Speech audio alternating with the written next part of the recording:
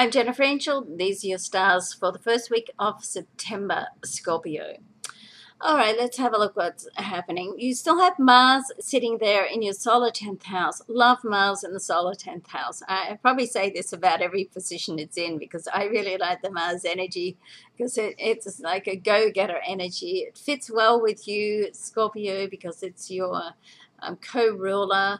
Um, so to be here in the 10th house, which is all to do with your career and work and getting ahead in life on that level, it's like your life purpose and how you make a difference in the world through your work. So Mars, it's really can give you the motivation to just get out there and, and make it happen, okay? But you have to use, and probably said this to you last week and the week before, so sorry for repeating myself, but uh, I just never know when there's new people watching, okay?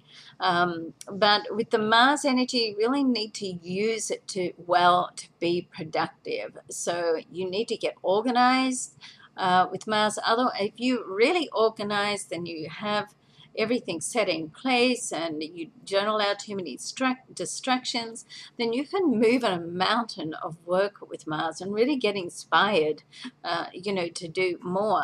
But if you're not organized and you've got a pattern of people being able to interrupt you, then Mars can have you just spinning your wheels and not doing much, okay? So um, you've got to know how to work with the energy and when once you do that, then it's great.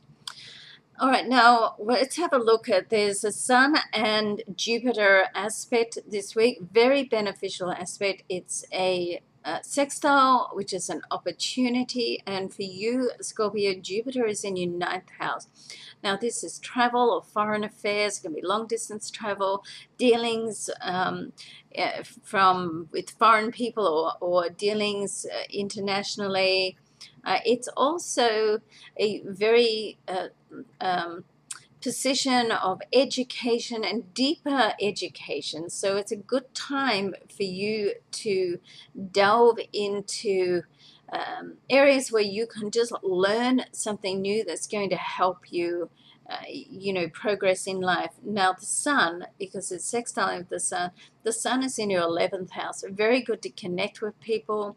Great to give back on some level. If you can find a way where, you know, there's that old saying, if you help somebody else um, achieve their dreams or bring their dreams to life, you also help help yourself. I mean, the act of giving is such a a fabulous two-way street because the, the giver and the receiver both you know get benefit of giving. And that's at the moment it's like if you can reach out and give something on another level um, then it can come back to you in some way as well. It's sort of like, you know, the energy that you're putting out is the energy that you attract back to you. And that's very, very much about that at the moment. Now, there's a new moon also in your 11th house. So the people that you meet over this time can really have um, a significant role to play in your life, you know, for um, the long term or certainly for the next year.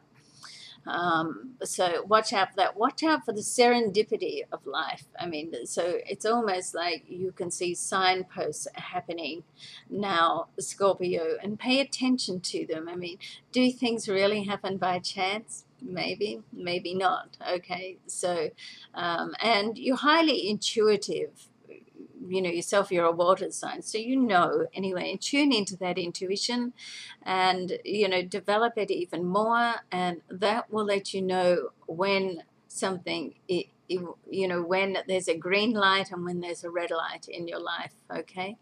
All right have a great week. I'm jennifer angel. Thanks for watching